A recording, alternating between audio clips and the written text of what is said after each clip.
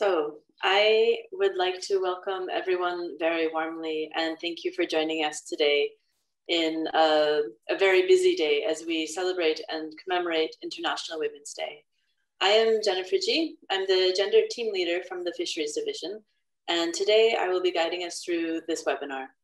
I would like to note for all of you that this event will be recorded and available later for viewing. Right now, all participants have been muted and the video is shut off. And we ask you to please use the chat box feature with any questions or points you'd like to raise so we are able to come back to you after the webinar since our time is too short today to take live questions.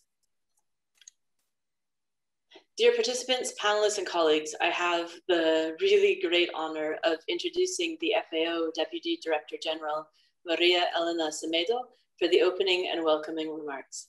Ms. Semedo, the microphone is yours. Thank you. Thank you, Jennifer, and uh, esteemed panelists, colleagues, uh, ladies and gentlemen, dear sisters. It is my pleasure to welcome you all to this webinar on this International Women's Day and especially to celebrate women in leadership in the fisheries and aquaculture sector.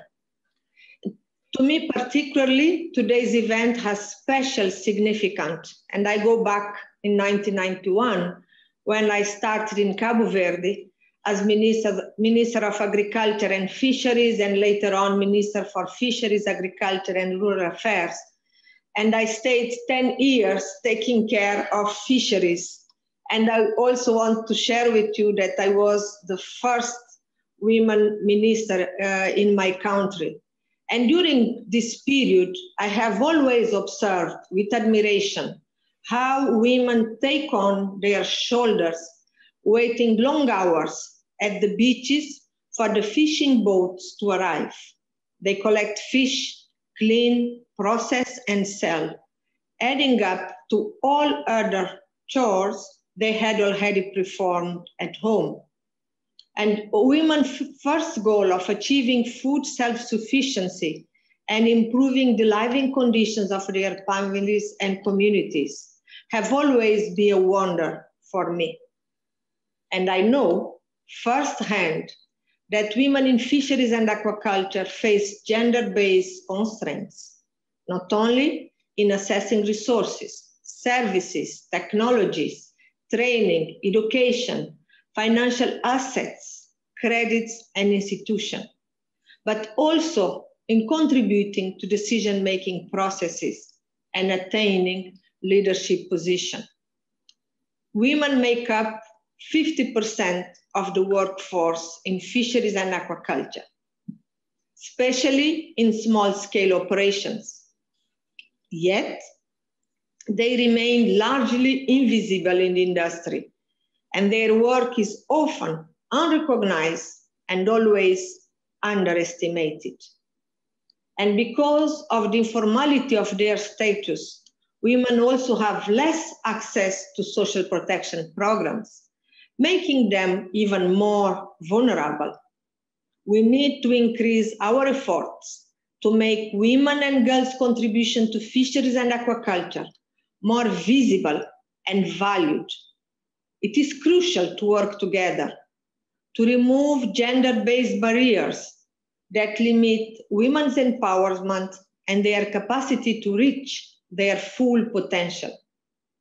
And this is fundamental for fisheries and aquaculture to be sustainable, as was recognized in the recently adopted COFI Declaration on Sustainable Fisheries and Aquaculture a recent study of top level seafood management published by the International Organization for Women in Seafood Industry, who are here today with us, reveals that only 40% of top positions are held by women. And when you go to the CEO level, only 4% are women. This is unacceptable. This is must change. The academics, professional, and activists advocating for an increased recognition of women's rights in fisheries are, for the most part, women. We need men to step up and be allies with women and girls. Indeed, this message was carried in the Year of Male Allyship campaign launched by the United Nations, He for She movement. An ally can be someone who amplifies women's voice, who educates themselves about different identities and experience, someone who challenges the status quo, and someone who takes action. Bringing women to the negotiation and decision-making process is a non-negotiable element to be considered in fisheries and aquaculture. Fisheries and aquaculture development and management at local, national, or regional level. It is only by bringing everyone to the table and valuing women's experience, perspectives, and skills that women will be able to make game-changing contribution to decisions, policies, and laws.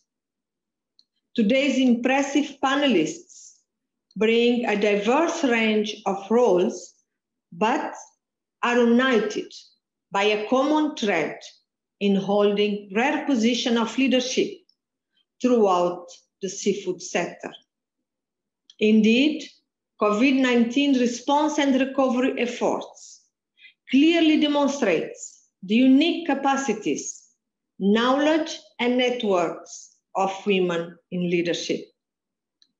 Through the sharing of experience, we'll hear strong examples of concrete and engaged action that can abolish the deeply anchored gender norms and highlight the significant role of women leaders in building a resilient, inclusive, and most important, equitable society. And this is the right thing to do. Again, I would like to thank everyone for your participation and engagement. Let's be together. Let's be united to build an equitable society. Only with an equitable society, society we can change the world. I wish you a very fruitful discussions and a happy International Women's Day. Thank you. Thank you, Ms. Semedo, for opening this webinar. It's a rare privilege to have one of the first female ministers sharing her perspectives with us. I open this webinar for International Women's Day with a reminder that the work for Women's Day should be an everyday occurrence of action towards gender equality and dismantling the patriarchy. We are bringing you four panelists who are leaders in the seafood sectors and have a format where we invite them to speak and share their reflections. This webinar is designed to not only create space and amplify their voices, but also to forge strong partnerships and alliances in order to build future work. We aim to develop concrete actions with our partners and stakeholders, many of whom have already been active for decades in the fight for gender equality. We invite you to follow their discussions in this webinar, which is intended as a step forward engaging towards gender equality, not as a box ticking exercise. The theme of this year's International Women's Day is Women in Leadership, and this theme is accompanied by a call to action made with the hashtag Choose to Challenge to call out gender bias and inequality. We welcome the challenges to the status quo brought by our panelists today, both through their career choices, but also by the challenges they will raise to us and the broader community. We now have the pleasure of beginning with the panelists' presentations with Shirlene Anthony Samuel, and she's the director of Infofish.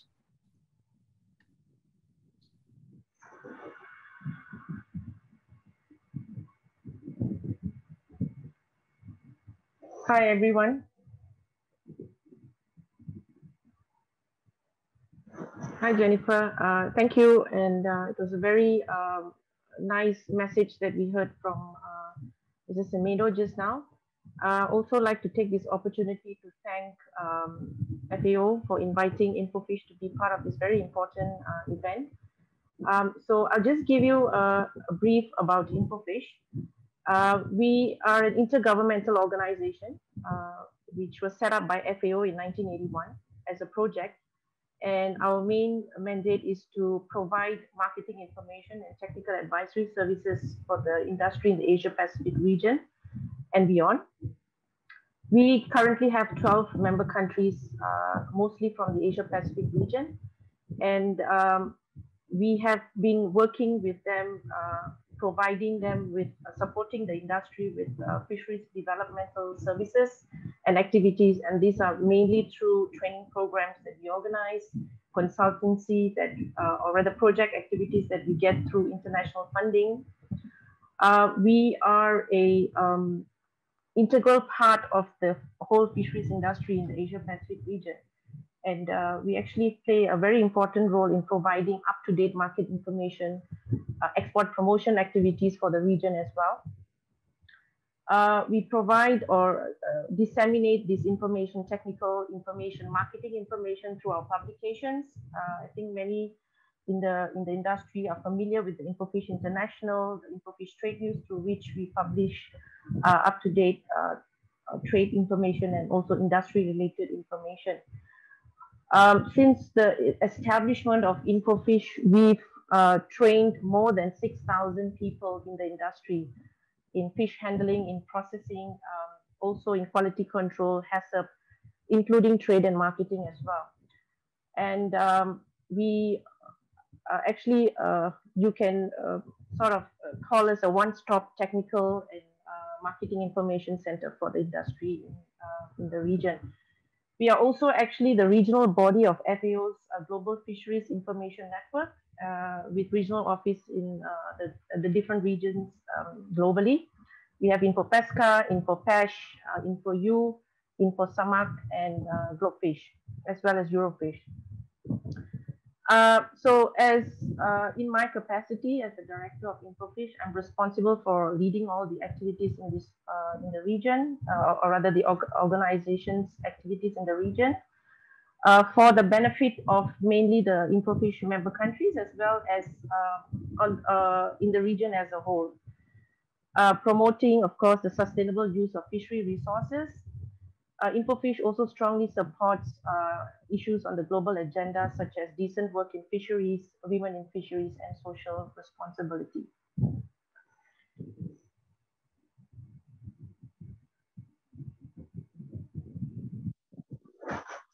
Um, well, just to, to touch a little bit on, on some of the um, hurdles that um, in my career um, in terms of um, facing uh, issues related to gender. Uh, it's very much actually related to cultures in the Asia Pacific region, uh, which we can say is not really homogeneous. And in some countries, uh, we still have the mindset that uh, men make better leaders. Of course, we have we have come a long way from there, but we still have that a notion that that is still happens in this region, and that women are more naturally suited for softer softer roles such as communications and so on. When when you give uh, uh, the uh, the choice between uh, two uh, professionals who have the same background but different on different gender, many in the region would still choose the male. Um, I would say one other factor is age in addition to gender. Um, and there's a prescription that either you're not old enough or you're not experienced enough. So these are some of the things that I've experienced uh, in my career since I've been in the fisheries. So you always have to push harder in order to instill the confidence in people. I must acknowledge here that um, I have had many women and male allies who have inspired me and supported me in my career, and, and I'm uh, fortunate in that sense. Uh, one other thing that has been uh, a hurdle in this in my experience, is I would say make, maintaining an equitable gender balance uh, in our organization as well as in our activities. And uh, as we all know, in fisheries, uh, it's it's really hard to come by, um, or rather, it's it's uh, a challenge to have more women in the managerial or senior leadership roles. And so the number of candidates who uh, who choose to be or, or we try to select in this in this um, roles are also um, correspondingly lower. So that's one of the things that uh, we experience, uh, or rather experience. And one other factor that I can also mention is in relation to the cultural perceptions uh, in that uh, in the region, which is uh, women tend to be expected to be softer. uh, in terms of you know the way we speak, uh, in our mannerisms and so on. But these are uh, these are attributes that uh, do not really translate, uh, especially when you're at the managerial role, leadership position. So uh, we have to find ourselves to push ourselves to be reach that sort of higher level of assertiveness without seemingly, you know, without being seeming aggressive uh, there's there's this uh, perception that uh, aggression in men is probably uh, more readily uh, acceptable than in women. So these are some of the things that we find, or rather, I, I wouldn't say it's a big hurdle, but it's some of the, the main challenges that we commonly come across. I I would say that these are not something that has been resolved uh, these issues are not something resolved. I don't think there's anything that's going to is at, at uh, a point that we have resolved it. It's an ongoing process. And I think we all have to keep pushing and uh, uh with consistent and persistent action. So it's a long going process that's um, uh, that has not been re resolved. Uh, I must also add that we, we indeed have have come a long way. There's long there's there's a lot of um, improvement and we have moved, uh, progressed greatly, but still, uh, you know, the journey is, is never ending. Um, and these hurdles, I would say, uh, varies according to the region. It varies according. It can also vary according to countries and also different ethnicities. Um, some countries might uh, be having, uh, you know, might be uh, take longer to solve some may face tougher situations. Some countries may maybe even having more subtle uh, issues. So it, it's really quite uh, contrast. I, I, I would not say that you can really generalize uh, when it comes to the types of, um, you know, which hurdles would remain uh, or rather remain longer. Uh, but mainly, I would say due to social, cultural, and religious norms, uh, we do see women in the Asia Pacific region, particularly in this region where we belong to, are still lacking a strong, strong voice in terms of uh, making uh, decisions or commonly found or commonly found at uh, managerial roles. Uh, having said that, I, I must also add that in some of the countries in the Asia Pacific region, we do find women dominating uh, the workforce, particularly in the government uh, in the government uh, roles. Um, for example, like in the Philippines and Thailand, you do see many women, uh, a, a, very strong presence of women in the, in the government sector and also holding managerial roles, which is really inspiring. And that really shows uh, how uh, important the, the role of women playing in the uh, government sector. but the challenge remains, however, that you know we got to prove our capability and this is a long process that uh, when we are faced with social cultural norms, it's it's something that we are trying to sort of undo.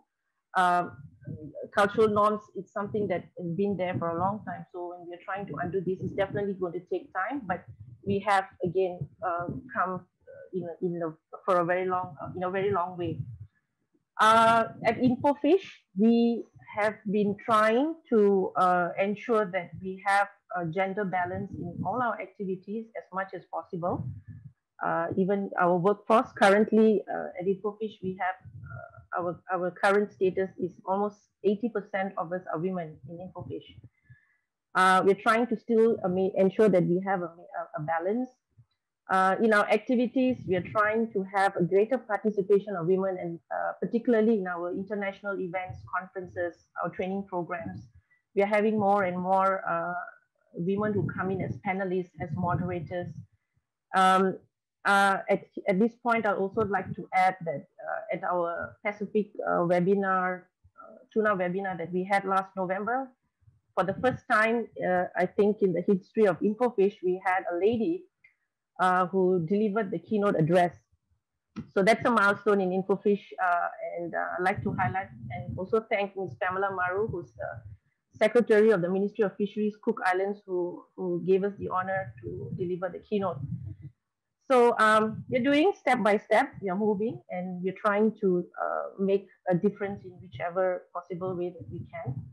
Uh, also, this is the first time that uh, we have uh, a lady who's in the uh, line of Infofish uh, leaders since the establishment.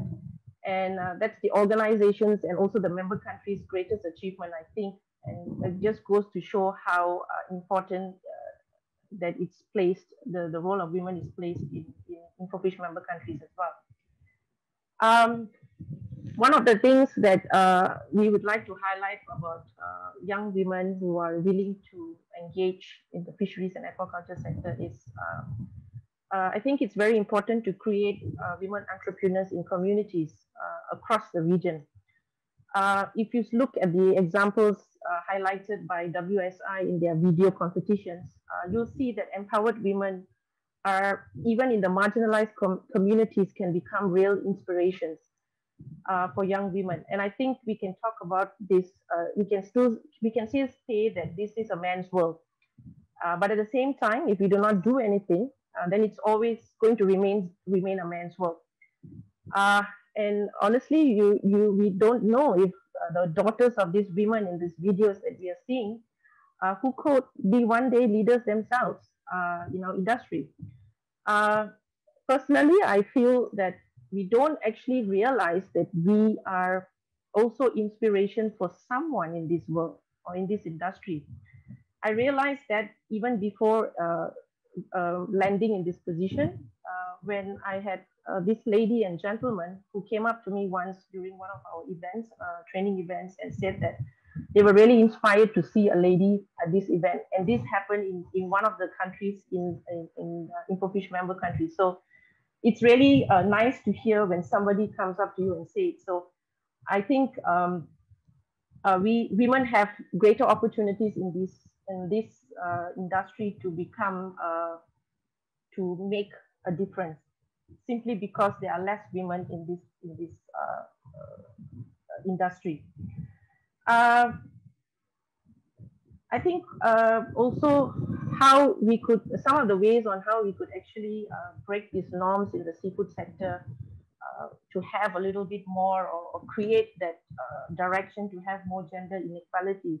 I think it's very important for the governments, the private sector, the NGOs, um, and also the legislative environments to work together. It's very important because this definitely uh, will be, uh, uh, bring a, a, a really important change and a better impact um, if businesses and stakeholders take the responsibility to redress this issue uh, of imbalance in gender, you'll definitely be seeing more uh, more impact, uh, particularly uh, you know by stakeholders providing coming up to provide training uh, in improving handling and processing, uh, in, even official giving them better access to markets, training training them in um, how to access internet.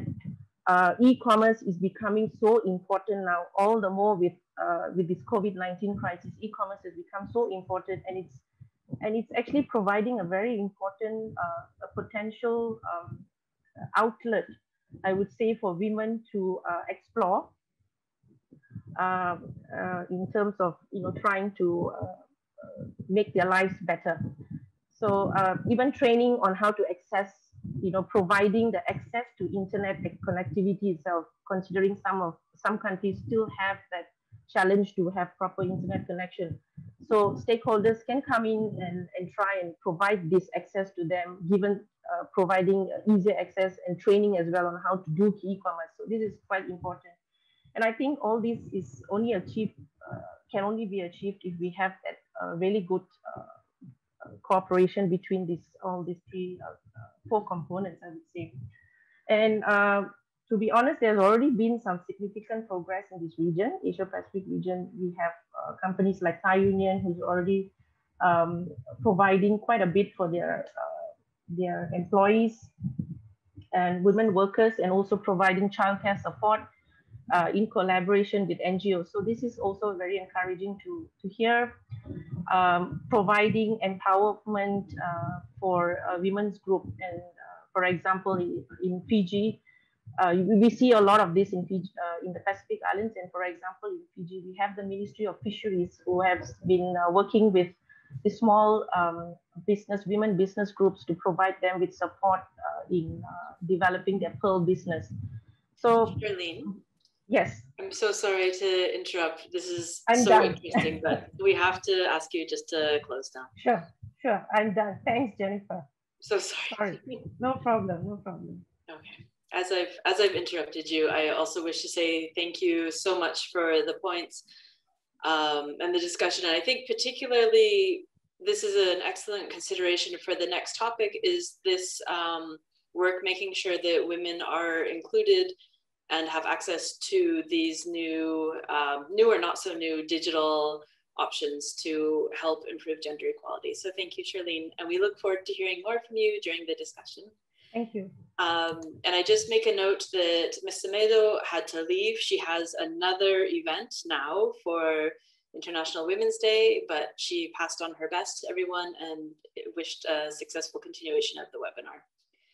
Um, up next, we have two presenters from the International Organization for Women in the Seafood Industry, or WSI. And so we will be hearing from Christelle Vigo, the chairwoman of WSI, and Marie-Christine Monfort, who is the co-founder and executive director of WSI. So I pass the floor to them. Thank you very much, Jennifer, and, and good afternoon, uh, morning, evening for to everyone. So WSI, the Women in the Seafood Industry Association, is a non-for-profit organization works exclusively on the gender equality in the seafood industry. It is a SDG 5, and we think that it's, it's, it's a good way to leverage uh, gender equality to, to achieve the other SDG. It has been created in 2016 by two seafood experts and two gender specialists who came to the point that gender inequalities in the seafood industries was, a very, was very high and very damageable to the people, the business, and the planet. So, as has been already said by the by the by Miss Semedo and the, and the first speaker, the women are not rare in the seafood industry because they count for 50% of the global workforce. But they are rare at the top position. As recalled by the Deputy Director General, women represent less than 15% of private companies' board members. They are rare in the professional organization, in the fisheries management organization, as well as in regional fisheries program organization, public institution, or even in, in investor, in aquaculture sector, and, and entrepreneur globally, and globally at the decision-making position.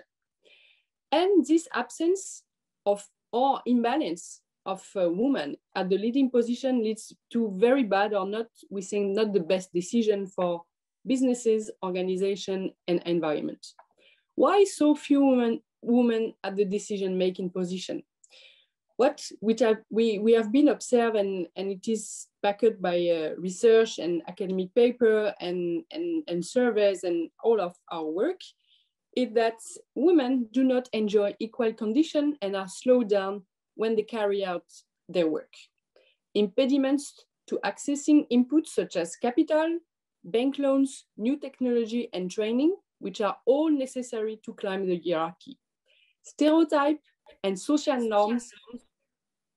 Do, do you hear me? Perfectly. Yeah, go ahead. Thank you.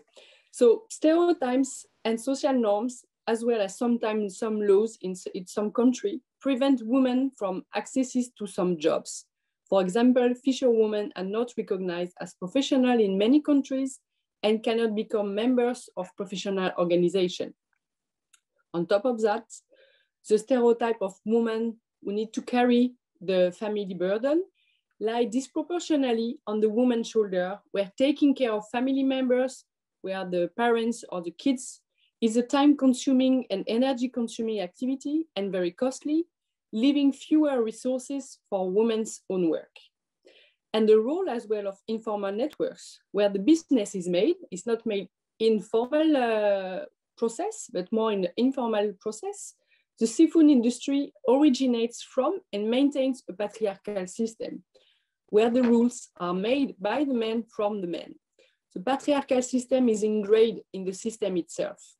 So in this industry, the informal setting, relationship, networks, flow of information, mentoring, and so on, where the career is made, also favors men. Men have a far more active network. And at the end, it is to their advantage. Beyond, beyond the top leadership, what is important also is to acknowledge and recognize that there are true disc discrimination, crimes, and violence against women. Reports show that women who occupy 90% of all the jobs in the labor-intensive seafood processing industry commonly suffer discrimination, violence, sexual harassment, and poor working conditions. And also unconscious bias during recruitment. It has been proven hundreds of times that recruiters, whether they are male or female, tend to favor male application. And before to, to pass the voice to Marie-Christine, WSI is here to advocate gender balance at all the level of, of the industry, including at the top level, because we think that absence of women is one of the cause of dramatic resource and non-sustainability management. Thank you.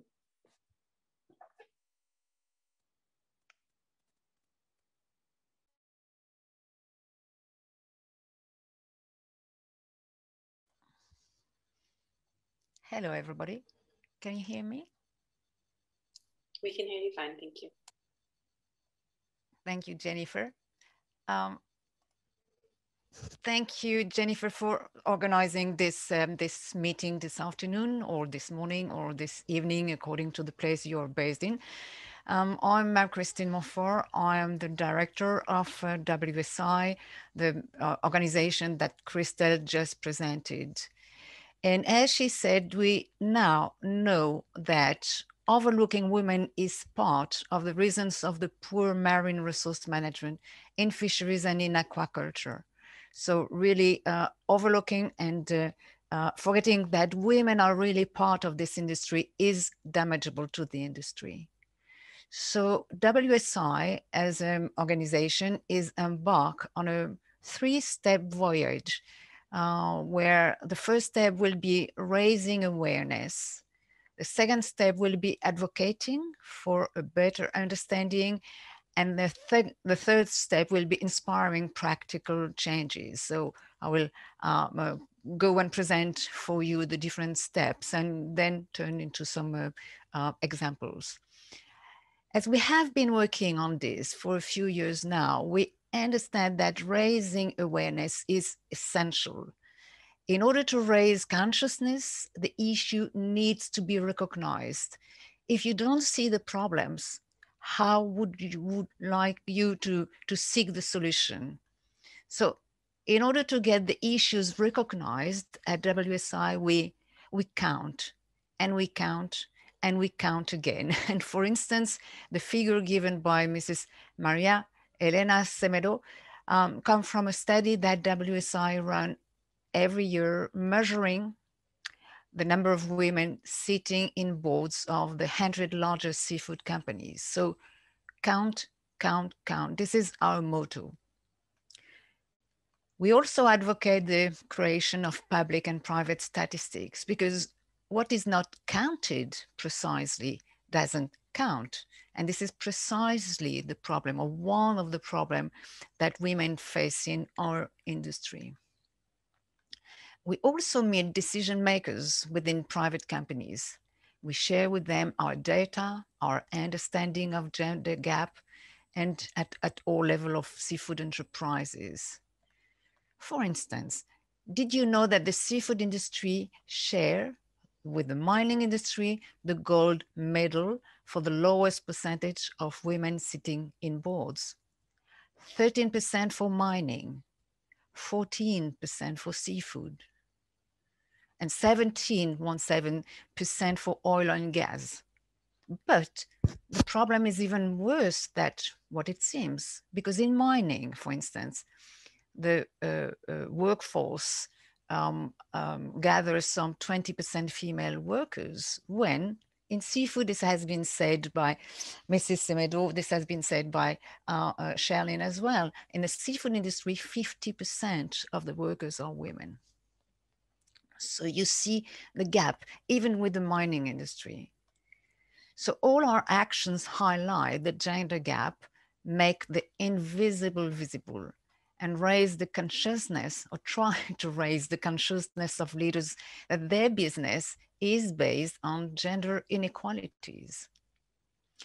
Among our programs, we have created the video competition to which Yuki, that you will meet in a few moments, participate and won an award in 2020. Up to now, we have received nearly 100 videos and note that 2021 contest is now open. So we are waiting for your testimony and for your stories. Um, we also compile all events that happen all over the world about women in the seafood industry, what they do, their success and their struggles. This document is a very useful tool to all who want to better understand what is at stake I have the pleasure to announce that the watch this year, um, um, um, with the date of 20, uh, 2020, was launched a few hours ago. So you can get it for free on our website. It compiles some 250 stories from 55 countries. And I promise you, this document is really an eye opener. When we started meeting people, as we were developing WSI, it was common for men to tell us in a somehow compassionate voice, I understand. I understand you. I, I have one daughter. Sometimes they said, I have even two daughters. But precisely in saying that, they were telling us that they understood little about the subject.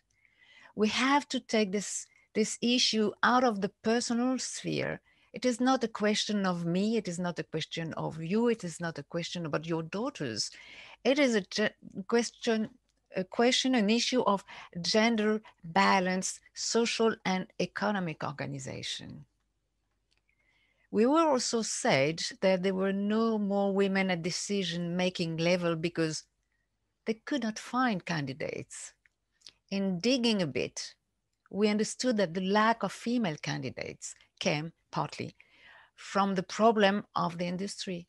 It is not very attractive precisely because it is totally dominated by men.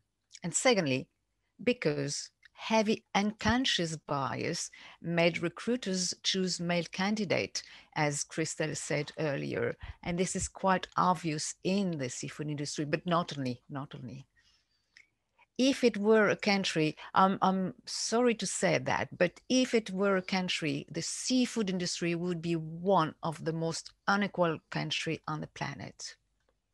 So we at WSI are convinced that this industry in all its dimensions, that is social, environmental, economical, need gender transformative policies. And to get that, we need to have more women in high level decision making position. Women's leadership is key to make this industry more progressive, more attractive, and more sustainable. Thank you for your attention. Thank you so much, Marie Christine and Christelle, for your presentations. And I would actually, if you have the link, you could share it in the chat with the participants so everyone can have a look. And as you may have noticed, we've been posting the speaker bios as we go. So we're trying to keep up with information for all of the participants to see. So up next, we have this video. Uh, this video was a finalist of the annual video competition hosted by WSI.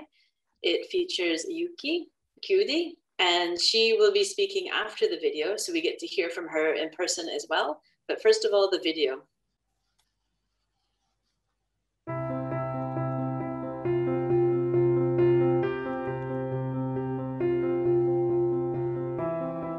私のお寿司屋さんはなでしこ寿司と言いますがなでしこ寿司が他のお寿司屋さんと違う点が、えー、とあります。それはまず女性の寿司職人だけのお寿司屋さんということですね。たまに女性の寿司職人の人が普通に働いている場合もありますがそれは本当に少ないです。そして男性の中で働いていることがほとんどですが私のレストランはともちろん私がリーダーとなって、えー、と運営もしていてでなでしこ寿司のシェフはみんな女性だということです。お寿司が日本にとって重要なのは日本は周りがこう島で囲ま島国といって周りが海に囲まれているので昔は魚を食べることが主でしたし、まあ、今もそうですけれども魚中心の食生活とお米を食べている生活だったので魚と米がメインです日本の食事は。それを合わせたものが寿司なのでそしてそれにこう何て言うんでしょうあの伝統を混ぜて発展させていったので日本の代表食といえば寿司ってみんな思っていることだと思います私のレストランで出す一番のそうですねお気に入りのおすすめのメニューは、えーと、それぞれのお客様に合わせてお寿司を毎回作るその盛り付けて出されたお寿司とかそのお客様によって変えられる味付けとかトッピングとかで作るお寿司だと。私がお寿司を好きな理由はあのお寿司はとてもシンプルな形をしているんですけれどもその中にたくさんの工程とかその時に合わせてたくさんのこう仕込みとか過程があるんですね煮込んだりとかあとはこう昆布とかで味付けをしたりとかいろんな技法が詰められててそれを一つのあの米と魚してあの形だけで集約して表すっていうのはなかなか他の料理にもないと思っていますね。そしてあのシンプルな色例えば白と赤マグロの赤米の白その2色だけで構成されているのにあの素晴らしい芸術性を感じるというのはやっぱりそういう工程がいっぱいあるからだからお寿司の魅力だと思います。今後女性寿司職人が増えるかというと私は今のままの体制だったら増えないと思います。でも増やすためにはえーとまずは女性にとってやりやすいルールとか働きたいと思うような環境を作ってあげることだと思ってそれがなでしこ寿司なんですけれどもそれをもっと広めさせる私に責任があると思うので頑張れば増えると思いますしあと女性がこうリーダーになってどんどん寿司店をこういっぱいオープンさせるためには育児とか出産とかあとは介護とかそういうライフステージが女性には待っているのでそれを助けてあげられるような環境そうですね保育介護そういう施設の充実。今私がやっている取り組みはなでしこ寿司だけではなくてあの女性アーティスト日本でやっぱアートが売れないのでそういう女性アーティストとお寿司を新しくコラボレーションしてで、えーと、例えば先日だったらお皿を作るアーティストさんにそのうちの寿司のお皿を作ってそれに合わせた彼女はなでしこ寿司に合わせたお皿を作ってなでしこ寿司はその彼女に合わせたお寿司を作ってコラボレーションしてお客様に出していくっていうアートコラボレーションをしているんですねそんなような世界を作ることですね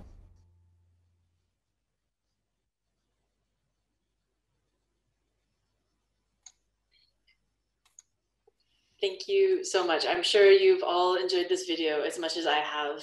And um, I think that Yuki, you'd better be ready for a lot of new customers as soon as we can travel. Um, we now have the opportunity to hear directly from Yuki, and I would also like to introduce Makiko Saigawa, who will be translating for Yuki as needed. So welcome to both of you.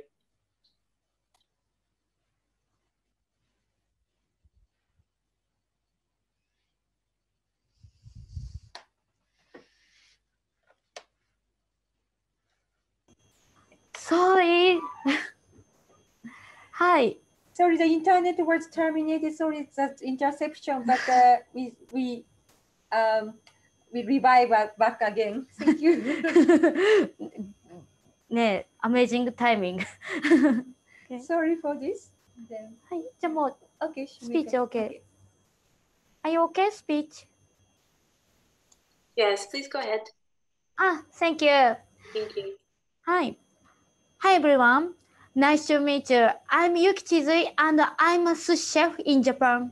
In fact, there is a very, very few sushi chefs in Japan, female sushi chefs. For next generation, as a female sushi chef, I am a pioneer, a new sushi industry. I've been working as a managing director of a sushi restaurant called Nadeshiko Sushi in Akihabara, Tokyo, Japan for over 10 years. In fact, I'm the first female managing director running a sushi restaurant who also does sushi supervisor and sushi making too. Also, I'm uh, heading a sushi school as a founder, principal, and lecturer there. Since last year, I've extended my business territories by establishing Next Generation Sushi Association. Based on my experience in this Next Generation Sushi Association, I launched a new incorporated company, BKTC. I am CEO.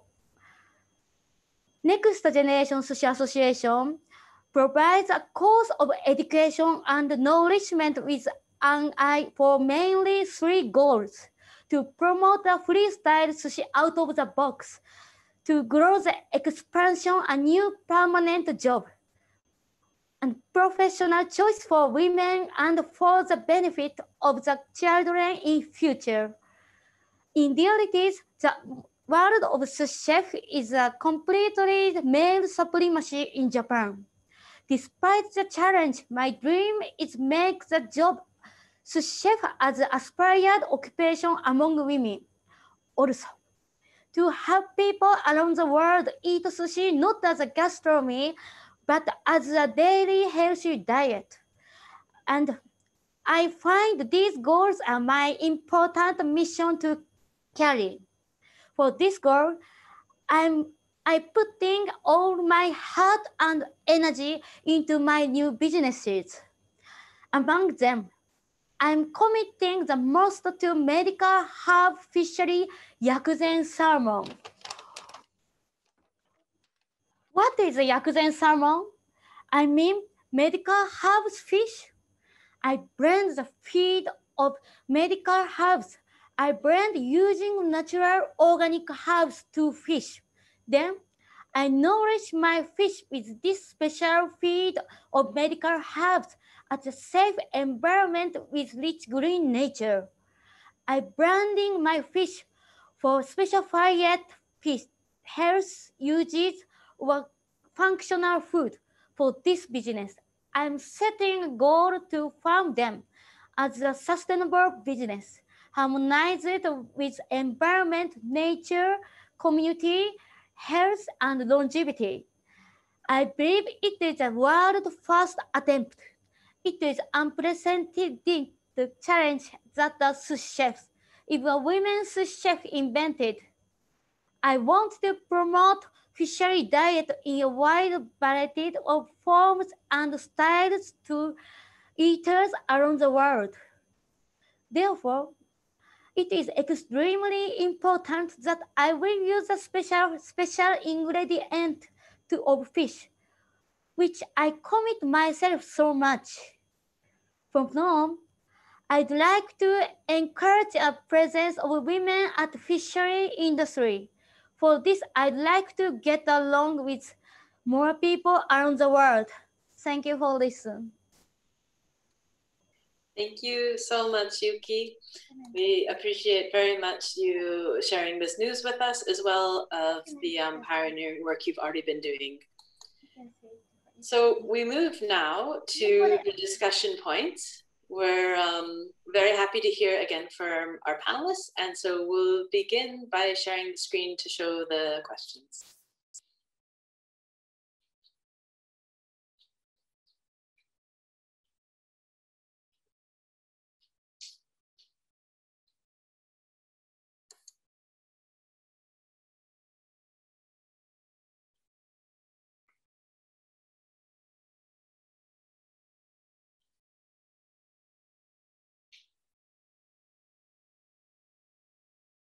Sorry, just one little minute as we shift gears for the question sharing.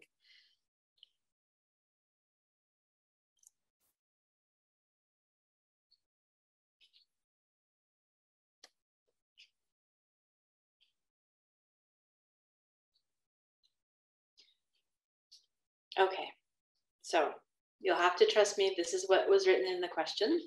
Um, I can read it directly. Uh, the first question is, how can we make a connection between improving gender equality for women at the corporate level and for the women working throughout the rest of the seafood sector? 私いいですかはい。 OK です。えっと、日本語で失礼します。 えっと、まず最初に過去の失敗や発言を恐れてはいけないということと、あとは、えっと、この水産業のジャンルにとらわれず、他のあの全然違うような職業の方と一緒にこう結びつけて考えたり、何かあの一緒に仕事をして、あのやることを私はすごい提案しています。So I'm suggesting, first of all, we should know this is a lesson I learned from my painful experience. That lesson, we must not be afraid of making mistakes in the past, action and statement. Then uh, we should strength encourage our career by combine, joy, join together with other expertise, with other in the other field, so that we can produce a new powerful idea to make innovations. This is what I believe. And then as I want to con- she want to continue the story behind why she says that. えっと、というのも2019年に、えっと、SNS を中心に、えっと、ネット炎上を、あのしたんですね自分が。それが、えっと、理由としては私がやはりあの皆さんが言っているように口答えするような女性とか反応することに対してはあまりよく思わないというやっぱ風潮が日本にもありまして私がやっぱりこう反応をしたことによって、あのそれがあのよく思われなかったことによって過去のやっぱり些細なミスはいろいろとこう膨らんで拡散されてしまって大炎上をしてしまったんですね。であの実は先ほどあの流れたビデオはその炎上直後に撮影が入ったものだったんですね。でもそれがすごい私にとっては応援となってあの後押しされた出来事でした。と最初にあの自分を寿司職人と認めてあの取材してくれた人たちやあとはその仲間の方たちが専門家でチームを結成してくれたりあとは自分が美大出身というのもあってアーティストの方々がすごいあの私を応援してくれて一緒にコラボしましょうって言ってくれたんですね。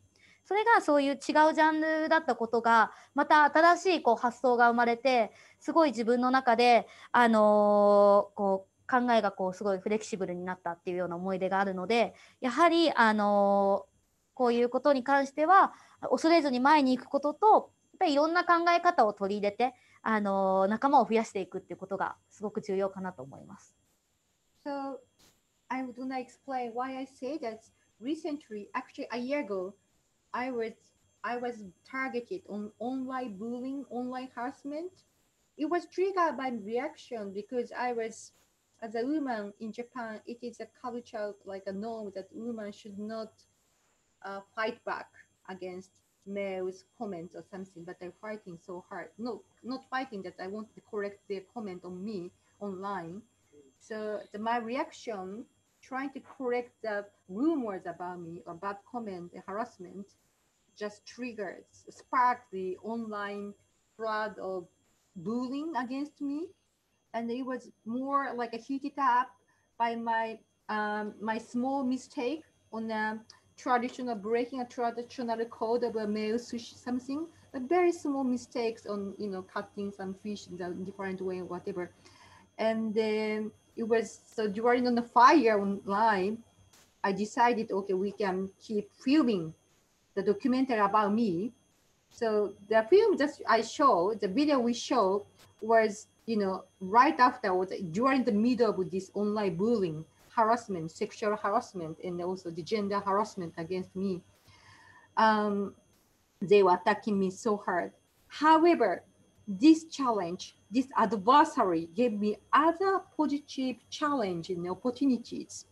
One that some other good people started standing for me to support so one of the key person was the one with TV director who was the first Japanese media like covering my story as an authentic sushi chef. So he helped me branding me with various type of experts in art or you know different uh, like fashions whatever. So even some artists because I my background is art school. I graduated from art college um, some artists appeared to me and he said, I want to help you. How can I help you? We should do some collaboration with sushi and art or sushi with fashions or whatever, sushi with kimono, whatever. So, you know, I achieve it, I achieve it. I overcome this storm of online bullying about gender inequality, you know. But uh, you know, so what I learned is just you know, you should, despite the challenge, we should we should keep moving forward without any fear. And also we should have lots and lots of friends to support you in a different genre and different field. This is the lesson I want to share with with with other uh, women who want to challenge in the fishery industry. Thank you. Thank you very much, Yuki and Makiko as well. Um, and thank you for sharing this experience because I believe this is one of the realities of women in their everyday life, but even more so as you reach a position of leadership and maybe fame. And it's difficult because I suppose we ask you to share a painful experience, which repeats the difficulties of it. But I believe by you sharing your experience, you help um, men understand the realities for women and also women to understand they're not alone in these experiences and how we work together. So thank you again. For our next question, we turn to Shirlene from Infofish. And we have a two-part question. So considering women in the sectors, uh, fisheries and aquaculture, working throughout the value chain in the context of COVID-19 crisis, what do you see have been the greatest challenges and what opportunities or potential for changes are presented in the recovery and recuperation from the, from the crisis? So thank you, Shirlene. Yeah, thank you, Jennifer. Yeah, uh, in terms of uh, some of the uh, issues or challenges that is being presented during the COVID-19, I think among the most uh, immediate or urgent one, I would say, is the, discrete, uh, the decrease in incomes, loss of jobs, uh, loss of independence, uh, both women and you know in general, as well as also something that um, uh, uh, a little bit different from livelihood is the greater risk of suffering domestic abuse. simply because the the um, lengthy um, or rather the long uh, shutdowns that has been uh, imposed in many of the countries, or rather globally. Uh, in addition to the lowered resilience towards the impact of the pandemic. Uh, however, we have been looking at things very positively, uh, as in uh, when we are being challenged, as Yuki said just now, when we when we are being challenged, we should keep pushing and we should keep looking at ways on how to um, uh, find ways to and how we can actually uh, uh, be better or, or, find ways on how we, we can survive. So uh, it's it's quite obvious that the, the demand for fish and fishery products uh, is greater during this period as consumers are actually looking, uh, continue to look for more healthier or healthy options for as food. And of course, fish and seafood is one of the main sources that they turn to. Uh, this means that jobs in the fisheries sectors are not that affected, although we do see effects uh, in delays in uh, getting our supplies.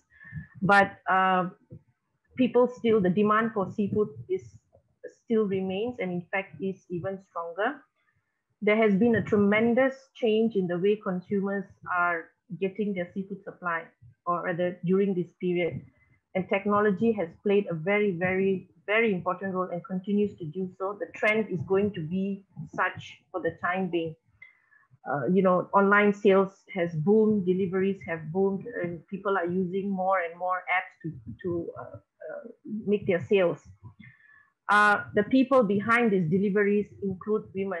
Uh, a big number include women who are doing small businesses, uh, whether they're owners of the of the business, whether they're workers, the delivery people, women play a very important role and it's likely, as I said, this trend is, is going to stay for a while. People are quite uh, comfortable with having uh, these deliveries to their homes because it's safer. So it's a very potential uh, uh avenue that women should look into in how they can develop, especially those who have lost their jobs, those who have uh, or pl planning to start a new job or looking for other means of income, this is a very um, a potential way how they can uh, look for opportunities to uh, as a source of li livelihood. Um, the investment is pretty low and uh, people are you, you you actually have almost equal opportunities as as um, your male allies simply because nobody is checking on whether the business is owned by a lady or a, or a man. So we have equal opportunities and you know people are are looking for opportunities to to sell their product to all kinds of means. So i think this is a very important uh, opportunity and a very um, something that has to be or rather people should push women should really look at this opportunity on how they can uh, explore. Um, we all know the, the powerful uh, or the potential of social media as a tool to spread information. Uh, in fact, it's been said that 51% of the global population is using social media today. That's that's that's a very big big number, and uh, people are scrolling screens every day. We are almost if we were doing that 20% before now with COVID, we are I think 50% or 70% on the on the on the phone or screen or you know any device. Uh, and of course, uh, food, including fish and seafood, uh, is being uh, sold through this internet. Um, in Asia, there's been a tremendous number of ways people are using to get the fish to the consumer uh, through social media, WhatsApp, Facebook, auction, everything. Uh, you know, it's amazing how creative, they come up with ideas on how to sell seafood. And again, women form a very important part in this and trying to sell. So it's a good avenue to start, and I think uh, very important opportunity at this point. Thank you. Thank you so much, Shirlene, for your response. And yeah, this is a really interesting point that you make that um, there's some with the with things being sold digitally there's some protection for this decision that might be made between women and men backed businesses. So this is an interesting point you raised. Thank you. We move to our third question now. And this question actually comes to us courtesy of Meryl Williams from the Gender and Aquafish Network and is inspired by a quote from Audre Lorde in Age, Race, Class, and Sex, Women Redefining Difference from Sister Outsider. And so, Ricardo, I'll ask you to move to this question on the PowerPoint. Thank you. Um, the question is, a lot of research and action to support women in the fisheries and aquaculture sector is done by women. And this is a continuation of the point made and in the reference I just mentioned, that in other words, it is the responsibility of the oppressed to teach the oppressors their mistakes. So I ask this question to our colleagues from WSI, Christelle and Marie-Christine, what role do you see for male allies, and what is your call to action for these male allies? Thank you very much, Jennifer, for this question. I love this question because we we can think that um, gender and, and and place of women in in seafood is a is a problem of of women or is a yes it's a woman topic and i say no it's first it's a male topic because they are most in decision uh, making uh, role so and I, I can understand personally that it's it's not easy for them to get the situation to get a sense of discrimination that women are suffering and so on. So i understand but at some point uh, they are leaders they are in position of power they are smart they can they can lead with a bit of empathy and understand that there is yes there is a situation and this situation is a problem for all of us my call to action is very simple, and I think it's it's a list of action that you can see nowadays in and today, especially in all the social media. It's a list of things that each man can do towards one or several women around him. He can listen to her or to them. He can coach, promote, advocate, and encourage. Only that, it's simply powerful and it's already a massive action and a massive impact and change for both men and women. Thank you.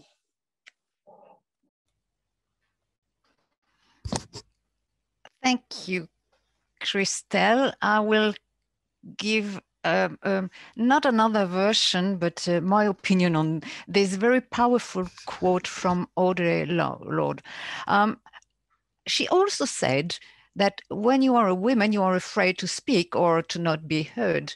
And when you are silent, you are afraid to. So um, let us speak. And thank you to FAO to give us this the chance to speak now on, on this subject, which is dear to our heart because um, um, now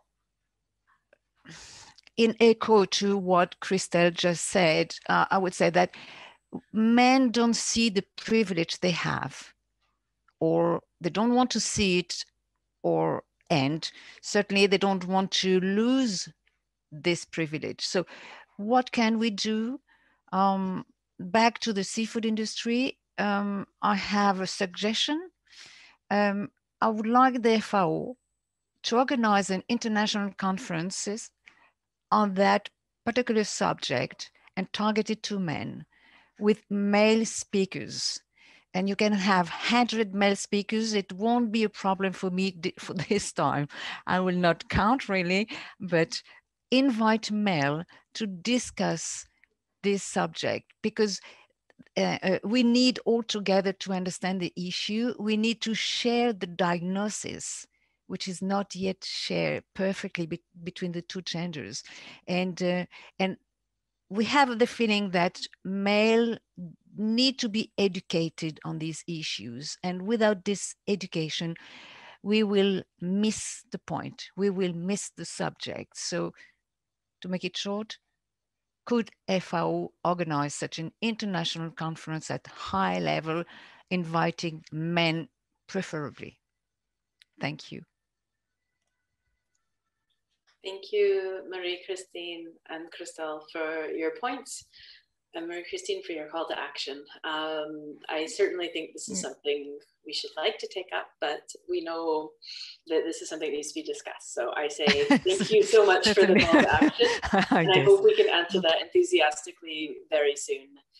Um, as we leave behind these round of questions, we move to a form of a, um, a soundbite round, I suppose, where I would like to ask each of the panelists to provide a takeaway message they'd like everybody to recall as they think back to the webinar today. So I would invite um, Shirlene to begin, and then we can go from there to Yuki, Christelle, and we'll end again with Marie Christine. Thank you, Jennifer. メッセージ。はい。メッセージが来て。OK です。私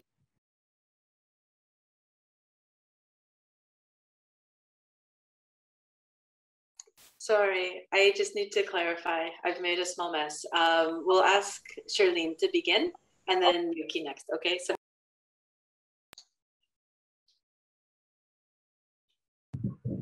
Right, thank you. Thank you, Jennifer. Um, well, um, I, I've got a very simple one, and uh, it's based on this quote by Mahatma Gandhi Be the change you want to see. Uh, and I believe this very strongly in. And also make the change and lead the way. Uh, every step counts, even if it's the smallest step, every step counts. And I think we should uh, not, nothing should stop us from uh, being the first to change a norm. Let's um, whatever or whichever group that we are representing, let's be the first to change a norm, even if it's the smallest change. Thank you.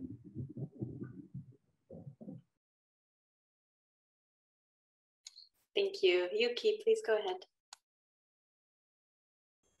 えっと、え私がいつも心に留めている言葉があります。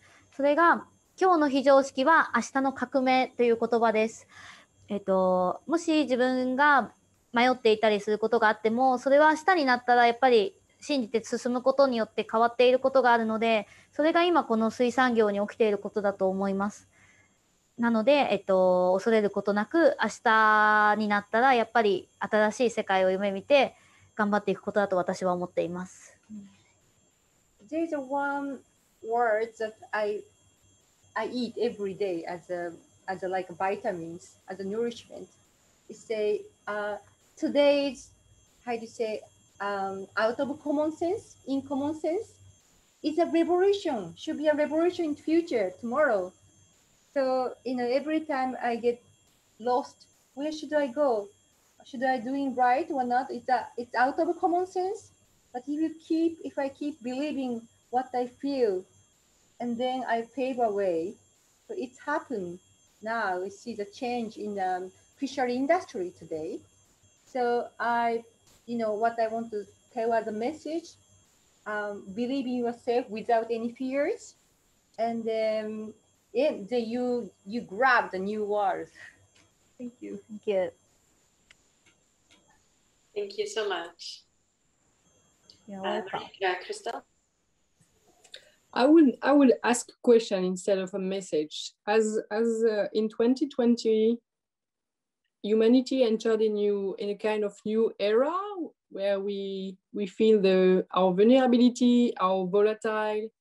We are in a VUCA world now. It's it's all aware. I would ask you, okay, what kind of leadership do we want today?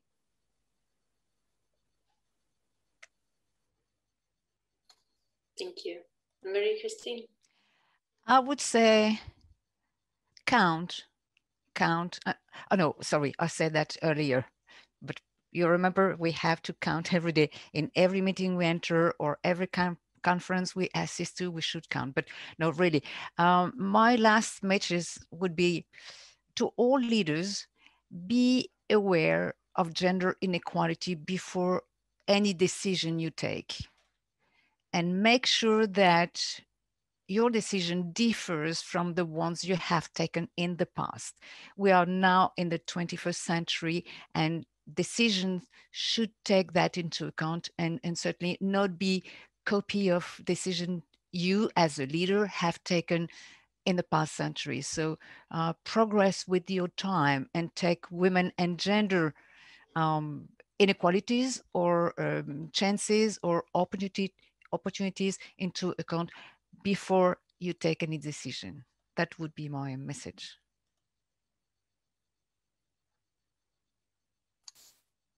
Thank you so much, Marie Christine.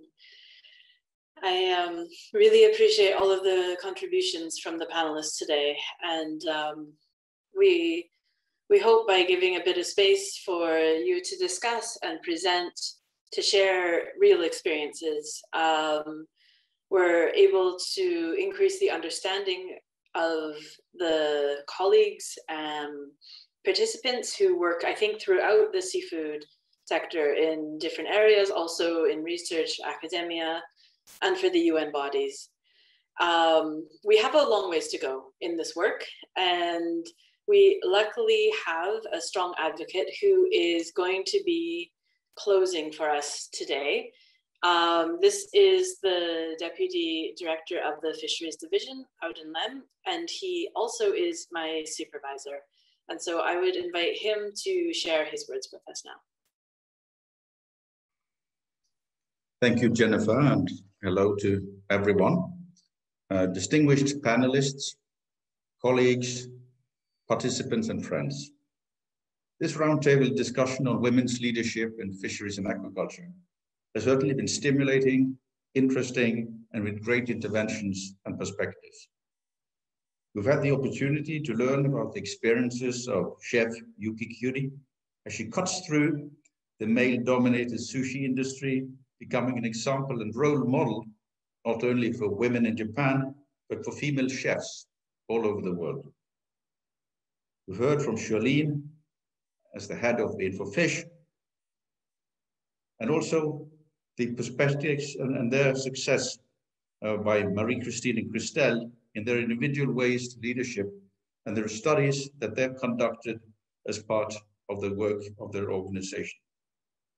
I would also like to thank my colleague, Maria Helena Semedo, for her inspiring example and leadership also in this field. We know that whenever we discuss women and leadership, we are touching on a topic that needs much support and advancement. Today's roundtable discussion has called on leaders from the fisheries and aquaculture sector, a sector that remains very much a work in progress when it comes to gender equality and equal opportunities for women and men. Indeed, One of the problems we face is the very perception of gender as a domain only of study and not an issue of implementation or equity or opportunity. In fact, when we look more closely on the fisheries and aquaculture sector, we sometimes register even some tension between technologists and experts on one hand, and on the other hand, the social and gender specialists. But in reality, we need to acknowledge the complementarity of these areas and the need and relevance of both disciplines or all disciplines. There is much work to be done, but this is not work to be done by women alone. Men have a crucial role in the movement towards gender equality, and in fact, a responsibility to take on this work as allies. In this respect, let me quote the He for She movement, initiated by the United Nations, which states, an ally can be someone who amplifies women's voices, who educates themselves about different identities and experiences, someone who challenges the status quo, and someone who takes action. Gender equality is critical to all, women and men, boys and girls. Rethinking the power relationship between human beings and traditional gender roles will release us from old and restrictive norms that limit men, women, as well as those who define their identity otherwise. With the COVID-19 pandemic, this has become even more urgent. The pandemic has turned out to be a carrier and revealer of inequalities as it has severely impacted global seafood value chains. And the impact of the crisis has been borne particularly by women. They have been losing income and leaving the labor market at a far greater rate while taking on, at the same time, a larger burden, burden of care and domestic work. The crisis has been shown to worsen existing inequalities, and we are now at risk of losing decades of progress for gender equality. This crystallizes our need for immediate action by incorporating a gender lens in all our work. Indeed, without a gender focus, we will not capture the reality of women and men in the sector, nor will we achieve the goal of sustainable and equitable fisheries and aquaculture, while ignoring the loss of opportunities for women and the sector itself. This clear message is also reflected in the outcomes of the 2019 International Symposium on Fisheries Sustainability. It is also a principle well addressed in the FAO Fisheries Small Scale uh, Guidelines. Therefore, the Fisheries Division of FAO is committed to mainstream gender in all its activities to enable the fisheries and agriculture sector to reach its full potential. Before I close, I would like to take this opportunity to announce a forthcoming technical webinar on experiences in implementing gender transformative approaches in the fisheries and aquaculture sector for food security and nutrition. This will take place on March 16 and is organized in the framework of the European Union funded Rome-based agencies joint program on gender transformative approaches for food security and nutrition. This is one of the many steps that our division in FAO is taking, together with our colleagues, towards gender equality and the transformation of the sector towards full sustainability in all its three dimensions. We thank our colleagues from the Inclusive Rural Transformation and Gender Equity Division for involving us in this upcoming event and for their generous support in gender mainstreaming in our fisheries division. Finally, I would like to thank each and one of you for your participation in this special webinar as we mark the occasion of the International Women's Day in 2021. Thank you. The seminar is hereby closed.